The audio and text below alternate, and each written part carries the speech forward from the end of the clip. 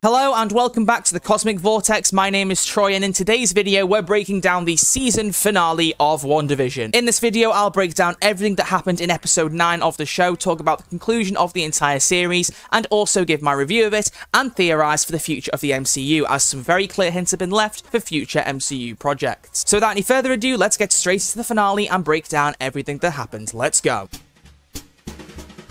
We pick up exactly where we left off in episode 8 of the show, with a fight beginning between both Wanda and Agatha. Agatha releases her grip of both Billy and Tommy, allowing them to walk away and escape before this fight begins, and at which point Wanda and Agatha begin their full-on fight. Wanda tries to fire some bolts at her, but Agatha absorbs every bit of power from them as they're thrown at her. The exact same kind of power we saw from Agatha at the beginning of episode 8. So how does Wanda stop Agatha from absorbing any more power? Well, she throws a car at her. I know, very calm response. But it does work. She throws the car right at Agatha, and it sends sends her flying through the window of her house. But as Wanda approaches the wreckage, she finds only a pair of boots under the car, and Agatha has completely disappeared. At which point, we see the arrival of White Vision into Westview. Wanda appears very confused and clearly believes that Vision has been brought back to life, and when she tries to approach him, he then starts to crush her skull, with him taunting that he thought Wanda was supposed to be powerful when yet she isn't. But White Vision doesn't get a chance to kill Wanda as our Vision shows up and intervenes, sending him flying. And for reference throughout this episode, because we do have two Visions, I'm going to call Westview Vision just Vision, and the White Vision White Vision, so there's no confusion between who I'm talking about for the rest of this episode. While White Vision is recovering from being sent hurtling, Vision and Wanda have a quick conversation about where the children are, and Vision tells Wanda that he knows everything that's going on. Wanda apologizes and says that she can fix everything once the fight is over. At which point, Agatha appears again, and the couple decide to split and fight each of the adversaries individually. So Wanda goes off to fight Agatha,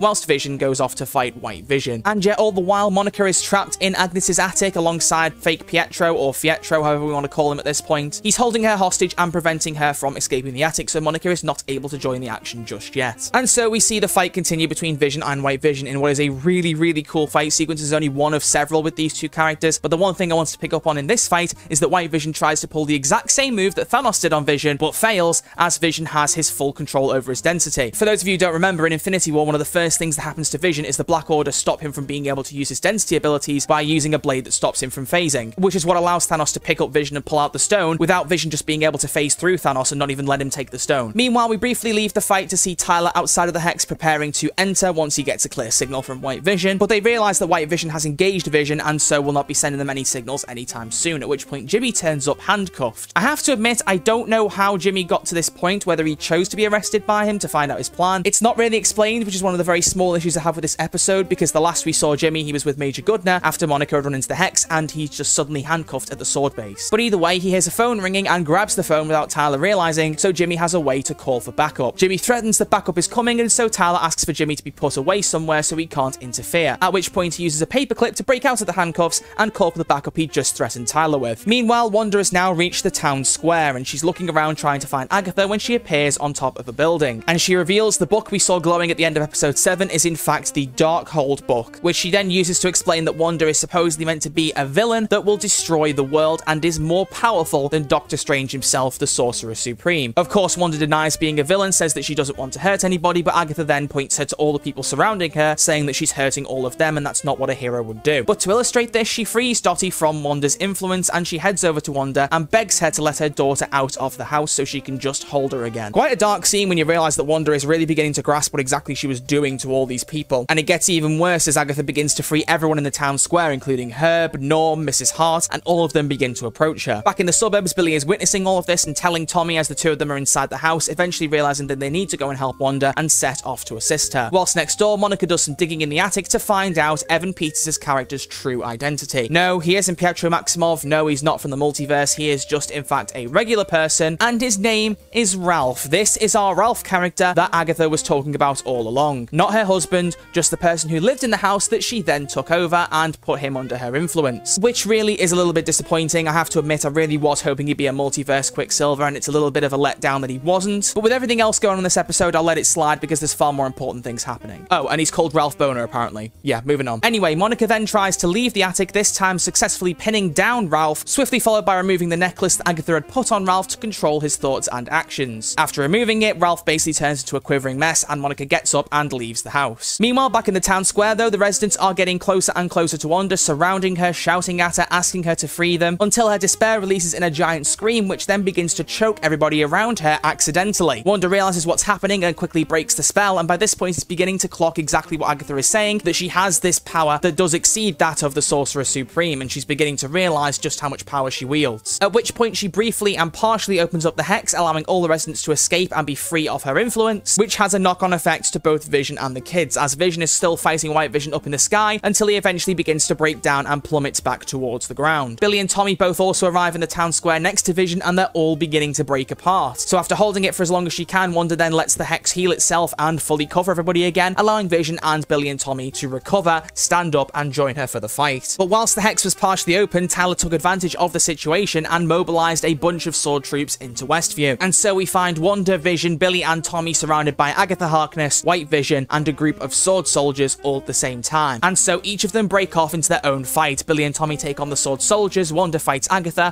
Vision finishes off his battle with White Vision. It does jump from fight to fight in the episode, but what I'm going to do is break down each fight one by one in a more concise manner. So let's start off first with Vision and White Vision. The two of them continue to fight inside of Westview's public library until Vision asks White Vision what his actual purpose is, to which he responds that his programming is to destroy the Vision. At which point Vision explains that he actually isn't the true Vision, and White Vision asks him to elaborate. I'm really going to be saying Vision a lot during this bit, aren't I? The two Visions then have a small debate over the ship of Theseus, the concept of which being an original ship that is put in a museum begins to rot and the wooden planks are over time replaced. And so the question arises of once all the planks are replaced, is that ship truly the original anymore? And conversely, if you then put the rotted planks together to try and make the ship again, is that even the real ship anymore? A clear reflection between both White Vision, who is a construction of the original Vision but not the same one, and our Westview Vision, who is not the real Vision but has the similar traits of the original. Both of them conclude that neither of the ships would actually be the original, and then deduce that from that, neither of the Visions that are talking right now are the original either. But our Vision convinces White Vision that is in fact the correct Vision, or at least the most original one, if for no other reason than White Vision actually exists outside of Wanda's mind and the Hex. Vision explains to White Vision that he has all of the memories that the original Vision had pre-Infinity War, but they're being locked away and hidden to him from Sword. So Vision opens up his mind and allows him to see everything that happened from Age of Ultron all the way up to Infinity War, and we see the effect it has on White Vision because his mechanical eyes turn back into human eyes. At which point he states that he is in fact Vision, flies out to the library, and we don't see him again for the rest of the episode. Next up, let's briefly cover Billy and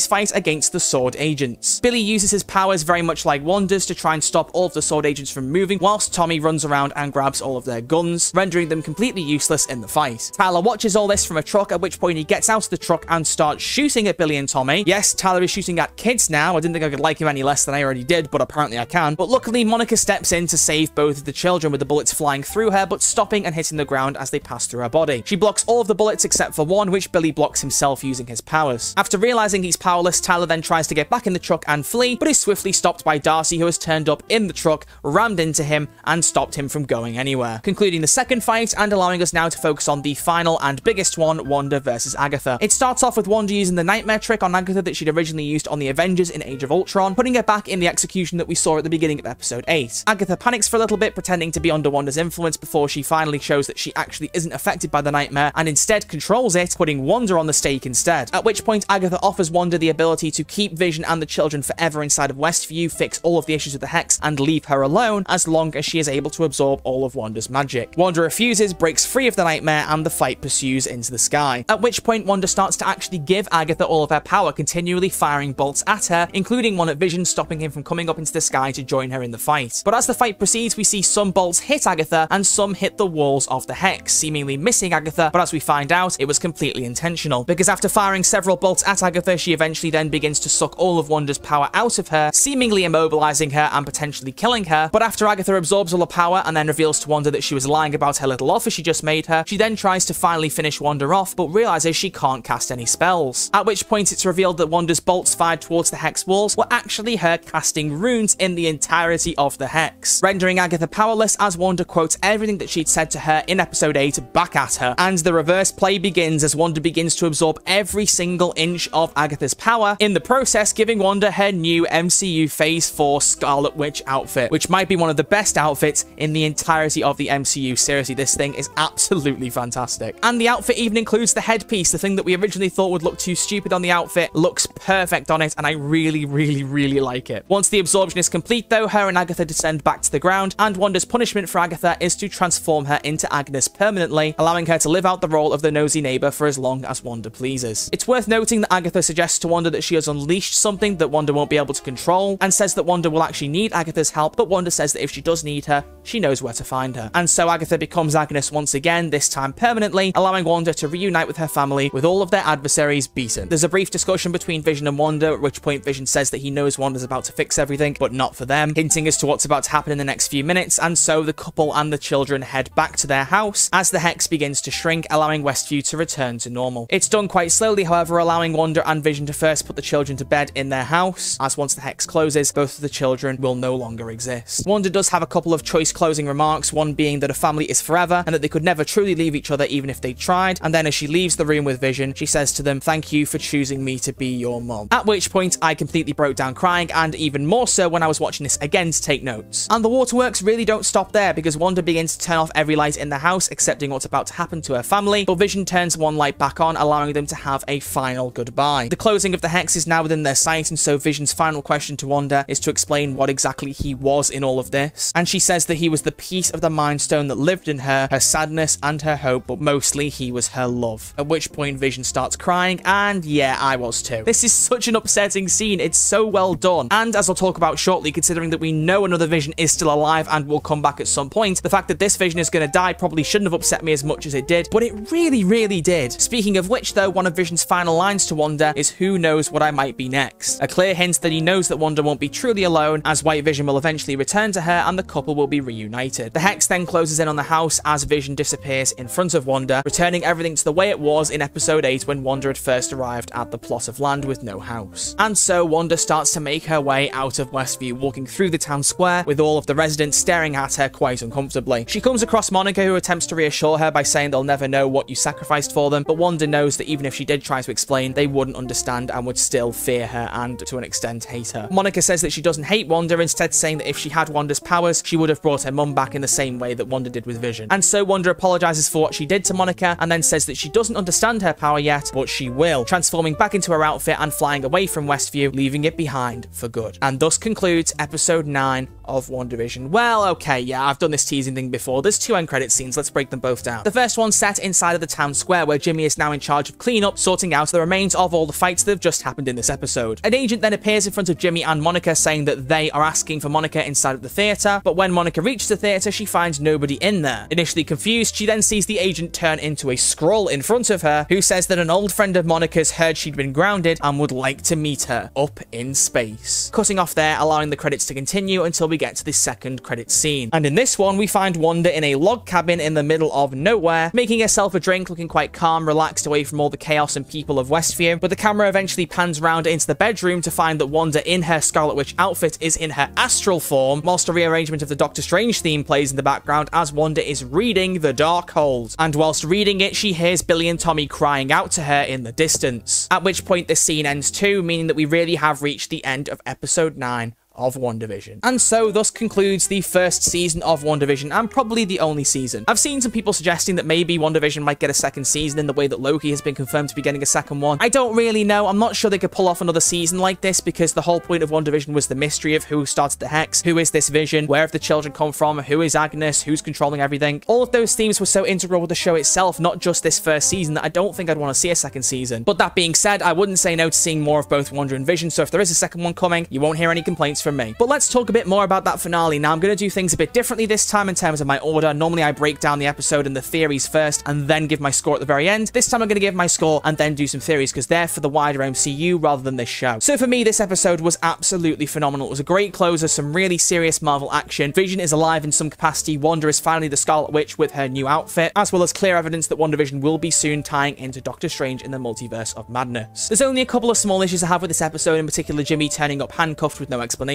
and also Evan Peters not being the Quicksilver, but that's my own fault for theorizing that he could have been someone else. So I can't really blame the show on that one. Nothing really here to stop me from giving this episode a 10 out of 10. It's a clear mark, it deserves it. It was a fantastic finale to a really stellar series. But let's talk now about some wider MCU theories and just some general thoughts I have for the future of the MCU. Let's start off first with Monica and the Skrull. So, the person that Monica supposedly knows, an old friend, could be one of two people. It could be Talos, or it could be Nick Fury. Now, we know both of those are going to appear in the Secret Invasion Disney Plus series coming in 2022, I believe. So it could be either one or both of those, but we did also see that Nick Fury was on a sword ship in space, away from all of the action, and so he actually is in space and could meet Monica halfway, so we know that he's around there. So I'm willing to bet that it's Nick Fury, but it could also be Talos. I don't know. It's going to be either one of them. And my second and final discussion is a more open thing discussing the future of Wanda, Vision, and Doctor Strange and the rest of the MCU. And the main question that arises is how is WandaVision going to tie into Doctor Strange in the Multiverse of Madness? As I said in the end credit scene, we heard Doctor Strange's theme rearranged playing in the background whilst Wanda was reading the Darkhold, but she heard Billy and Tommy crying out. And so my theory here, and this is my big grand thing that's going to lead into Doctor Strange in the Multiverse of Madness, I believe that Wanda is going to use some of this power that she has to reach into the multiverse, pull out Billy and Tommy from an alternate universe to bring into this reality, and in doing so, open up the multiverse for Doctor Strange to deal with alongside her. I'm not really sure how else Billy and Tommy could exist unless she tries to create them again using these hex powers that she used to create the hex itself, but I just think there's got to be a reason for Wanda to link into this film. So yeah, I think that Billy and Tommy are alive in some other universe, and Wanda is either going to rescue them, pull them out, kidnap them, whatever she decides to do, and that will put her firmly on Doctor Strange's radar, meaning the two will face off or team up or a bit of both in Doctor Strange's second film in just a year's time. But that, however, doesn't account for the final piece of the board, Vision. As I said, White Vision realized he was the true Vision, or at least the closest to the true Vision we'll have right now, and he just flew off out the library, right through the ceiling, and we never saw him again. I imagine he's going to take some time to get used to all of the data that Vision put in his head, and at some point I imagine he will reunite with Wanda in whatever capacity, but I am hoping that because Wanda is playing a big part in Doctor Strange 2, that Vision might at least appear to a certain extent. So far, we knew that Doctor Strange 2 was filming in London, and whilst Elizabeth Olsen was in London doing interviews and press for WandaVision, Paul Bettany was in LA in his house. So Paul Bettany might not be on the London set, but that doesn't mean he isn't in the film because it's unlikely they'll film in just one place for the entire film. They may go into some studios to film some certain scenes, and that could be where Vision turns up. Either way, I will happily bet that Vision will pop up in some capacity, either in Doctor Strange in the Multiverse of Madness or at some point later in Phase 4 of the MCU. But that concludes the final breakdown for WandaVision on the Cosmic Vortex. Thank you all so much for watching. It has been an absolute blast to break down all of these episodes, theorize on them, talk about them in more detail. There might be a slight name change coming up before I start doing videos on the Falcon and the Winter Soldier, which might not be breakdown so much. I'm not sure what I'll do with that yet. Stay tuned and I'll have some content coming out for that. But there is another channel out there that I've recently discovered called The Cosmic Wonder, which is very, very popular, and I don't want my name to be too similar to that. Please know that it's still me, still the same channel, I just want the name to be more unique. But either way, thank you all so much for watching. I will see you all very soon with some brand new content. Next week, I'm going to plan on doing a Doctor Who video. I'm not sure what I'll do, but I'd like to do something a bit different while we wait for Falcon and the Winter Soldier to arrive. So look forward to that next week. But until then, thank you all so much for watching. It has truly been a blast to break down all these episodes. But either way, I will see you all next week with a brand new video. Until then, look after yourselves, stay safe, and thanks for watching The Cosmic Vortex. See you soon.